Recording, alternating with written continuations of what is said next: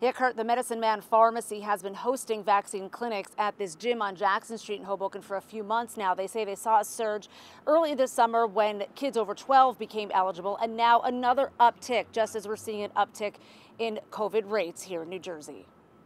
My first shot was actually on April 8th. And now, more than three months later, Vibha Gupta is back for her second Pfizer vaccine at the Hoboken Medicine Man Pharmacy Clinic. A potential allergic reaction kept her away.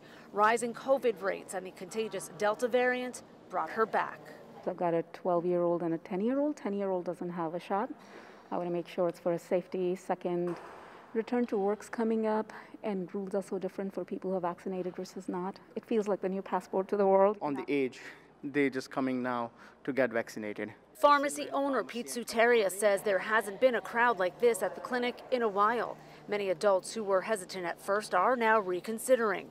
Mike Riccardi has a child too young to get vaccinated. I would just like a little more time and da data. So that was my main concern. Usually these vaccines have a lot more years worth of data.